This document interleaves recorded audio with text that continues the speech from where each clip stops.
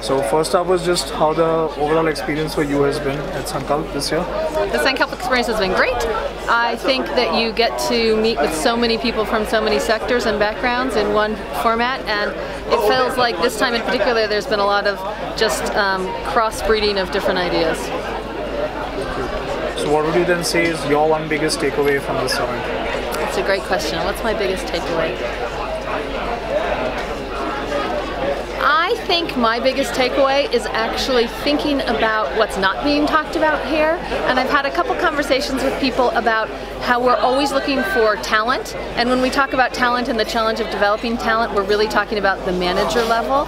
And one of the things that I experience working with women who are living in poverty is that they struggle to find employees as well.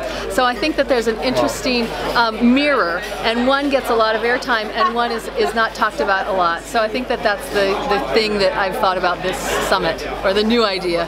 That's it's quite something, yeah.